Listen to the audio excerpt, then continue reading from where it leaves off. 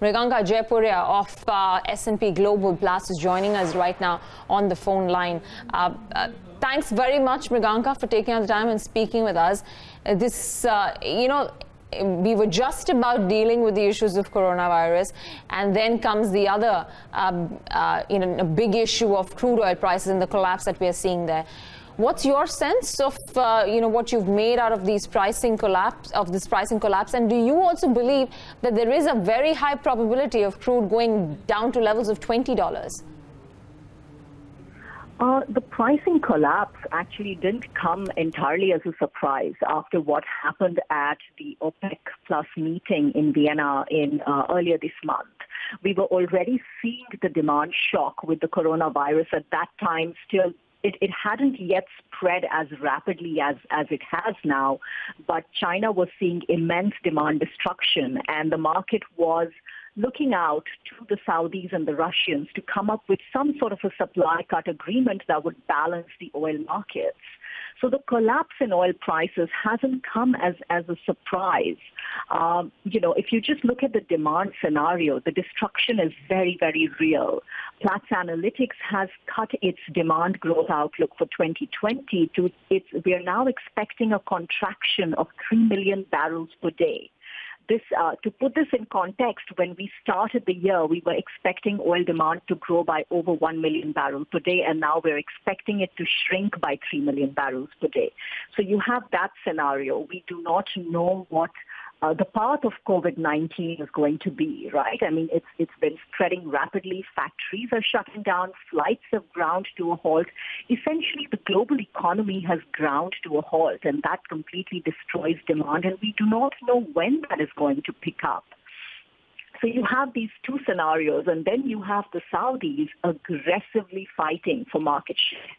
You've got the Saudis coming out and saying we're going to be producing 3 million barrels per day more right now when we're expecting demand destruction of 3 million barrels per day. They are going to boost their exports by about 37, 35 to 37 percent at a time when there is no demand for oil. So, so the collapse in oil prices is, is not entirely a surprise. I think it, we were waiting for it to happen. Uh, so, you know, just to get in a sense from you, you know, what lies on the table now? What are the options that are there on the table if there has to be any kind of price stability for crude oil? Uh, the, you know, uh, I think at the moment we just need to need to watch out for how for any potential demand recovery uh, it is very clear that the Saudis and the Russians are not going to go back to the table. I, I uh, you know, the, the, Russia has come out and said that uh, there is there is very limited possibility of us getting back and negotiating on supply cuts. Saudis pulled out of a technical committee meeting that never went ahead. Uh, the Saudis have, uh, like I mentioned earlier, they they they uh, they also slashed crude prices uh, for for their oil liftings in April. So right now, from the looks of it, the the stability has to come from the demand side. The supply side is is a free for all.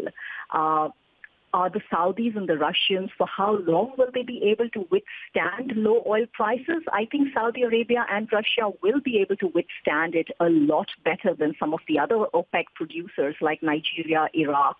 They're going to be suffering the brunt of this a lot more. Uh, for, for the Saudis, their crude production price is under $5 a barrel. For the Russians, for their legacy fields, it's about $10 per barrel. Uh, for the for the higher cost fields, yes, it goes up to about dollar thirty to thirty five per barrel. Yes, they will face fiscal pain because the fiscal break-even price for Saudi Arabia is north of eighty dollars, and for Russia, it's north of fifty dollars. So they will bear fiscal pain, but but the the their behavior, their their policies are showing that they are willing to bear that fiscal pain to grab back that market share that they have lost over the last two to three years to to U.S. shale producers, to other non-OPEC producers. So they will bear that fiscal pain. They will push for uh, for more supply into the market. Russia has already said that it could pump another half a million barrels per day by the end of this year. They will be able to bring back that production on stream. The Saudis, like I mentioned, have categorically said they will be pumping a, an additional 3 million barrels per day for the next few months. So the, there's going to be immense supply in the market. And not to forget countries like Libya, which have been uh, which are out 1 million barrels per day due to geopolitical reasons, that, that oil could come back into the market as well. So the downside risks to prices are very high right now. Yep, yep. Um, we leave it at that, Mriganka. It was great chatting with you. Uh, you know, really serious implications of crude oil prices coming off to these levels. Uh, thanks very much. Appreciate it.